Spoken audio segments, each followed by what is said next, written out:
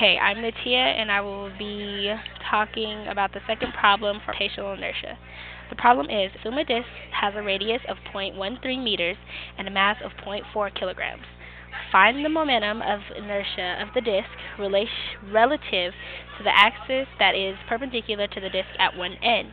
Because we're dealing with a disk, we are going to use the equation. Inertia is equal to half mass times radius squared. So, we know that mass is equal to 0.4 kilograms. And radius is equal to 0.130 meters. So, inertia is equal to 1 half 0.400 kilograms times 0.130 meters squared.